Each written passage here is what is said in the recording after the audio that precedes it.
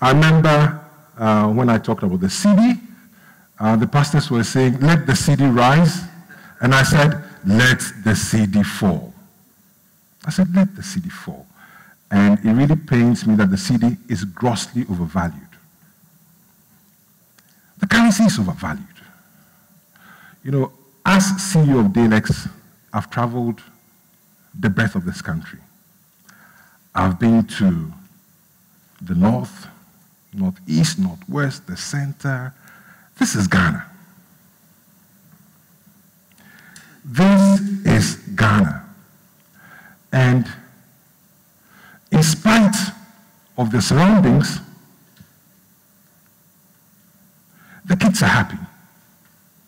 They have hope.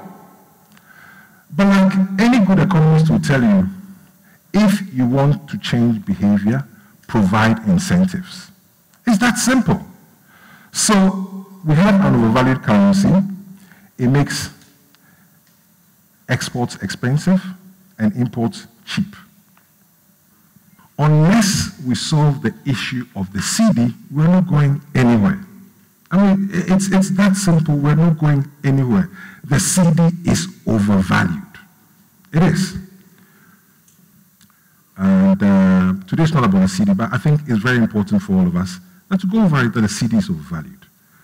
Uh, when, when, I've talked about the cedi being overvalued, I've used um, the Big Mac index. It's a very simple index. And yesterday, I tried to explain it to my little sister over there, and um, she didn't understand it. But it's very simple. It's very, very simple. And the Big Mac index was invented by the economist, and it's, all it's trying to say is that if you take $1 in the States and he buys 12 eggs, the equivalent in cedis should also buy 12 eggs. That's all it says. But it uses the Big Mac. And this has proved a more reliable indicator of currency values than any of the other sophisticated models around. Uh, it's, this is not subject to debate.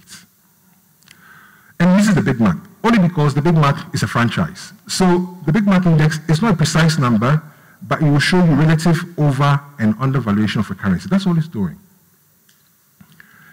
And it uses a Big Mac because a Big Mac is a franchise. So technically, a Big Mac in Ghana should be equal to a Big Mac in um, uh, Spain, should be equal to a Big Mac. It, that, that's all it is.